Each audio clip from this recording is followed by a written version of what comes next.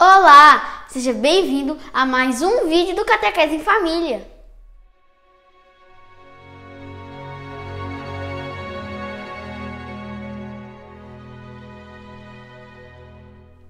O tema de hoje é sobre a Santa Missa e nós convidamos para responder as nossas perguntas o Padre Renner. Hoje, nosso tema é sobre a Santa Missa. Eu vou te ensinar, antes de começar, uma pequena oração naquele momento da consagração, quando o padre levanta o cálice e a hóstia. Reze comigo. Eu creio, mas aumente a minha fé. Eu creio, mas aumente a minha fé. Uma oração simples que no momento da consagração você pode rezar no silêncio do seu coração. Para começar, pode nos ensinar o que é a missa? Boa pergunta. Vou tentar explicar o que é a missa de uma forma muito simples, pra, inclusive para vocês crianças.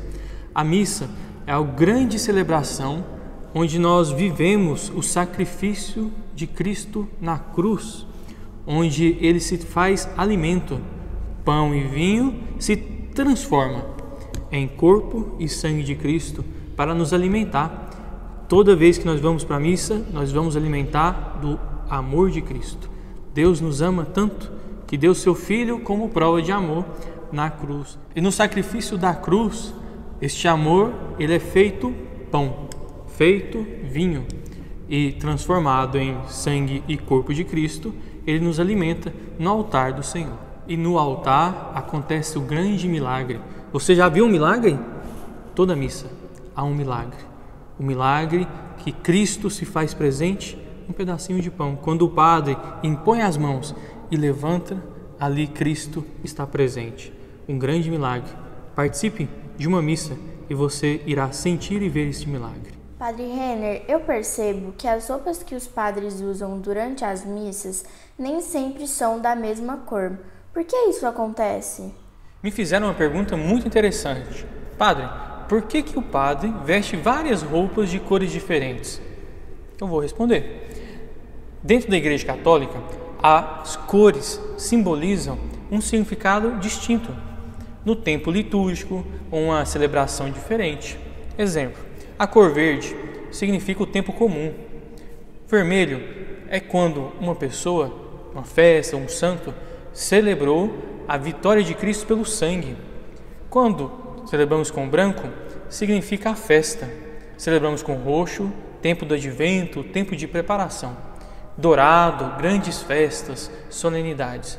E possamos, com as cores, encontrar o caminho de salvação e de mistério dentro da Igreja Católica.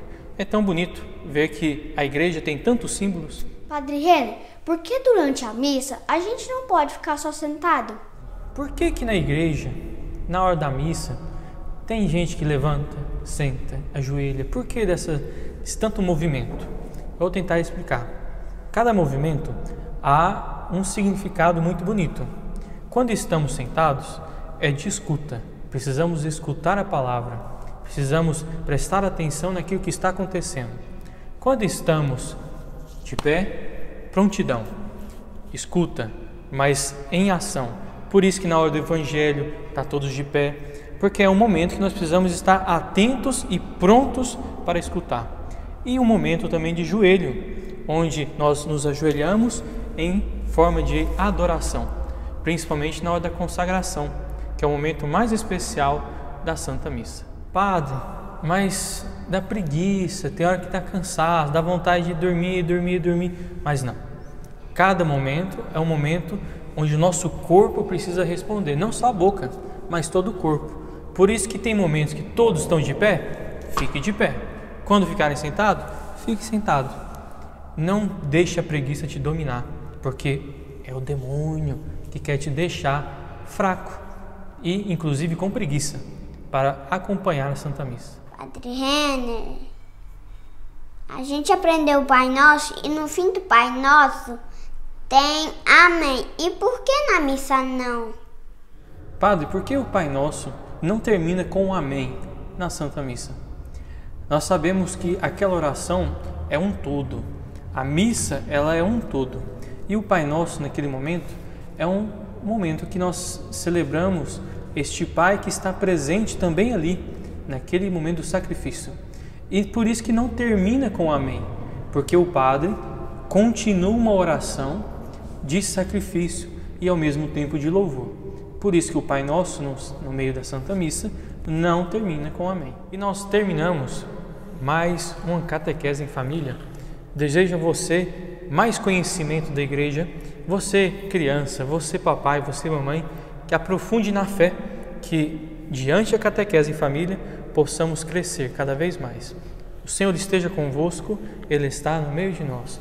Abençoe-vos Deus Todo-Poderoso, por intercessão de Nossa Senhora das Graças, em nome do Pai, do Filho e do Espírito Santo. Amém. Até a próxima. Nosso vídeo fica por aqui. Se inscreve no canal, ativa o sininho, dá o seu like e até a próxima. Por que. Esqueci a pergunta. Nosso vídeo fica ficando. Nosso vídeo fi- fica ficando. Nosso vídeo fica ficando. Ou na cruz. Para que, que eu apontei? Eu ia apontar para. Eu ponho Jesus na cruz do seu lado, coedição. Ah, o plural. Dá até uma coceirinha na cabeça, né, Padre Renner? Padre Renner, eu percebo que as roupas que o padre usa sempre são das. Nem sempre são das, da mesma cor, meu Deus. Durante a missa, não, nem sempre são das mesmas cores. Por, isso, por que isso acontece? Ai, meu Deus. Tantas de cores. Cores tem que ter o plural.